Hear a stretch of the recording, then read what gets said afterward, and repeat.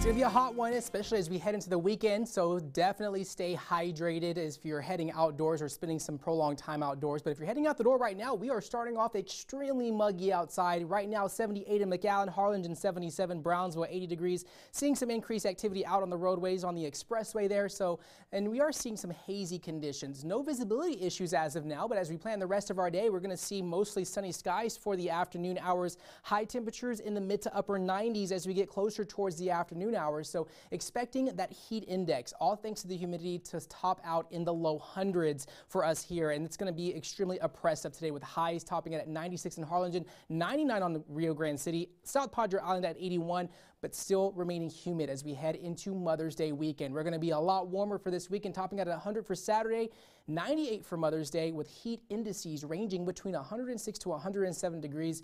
South Padre Island definitely the place to be if you want to cool down, but dew points right now in the mid to upper 70s. We're seeing those southeast winds at 5 to 10 miles an hour. We had some relief, all thanks to those breezy conditions for the past two to three days, but winds are going to be very calm today. It's just going to be very hot and humid as we head into the next 48 hours. Latest drought monitor showing some improving conditions, all thanks to the rain that we received.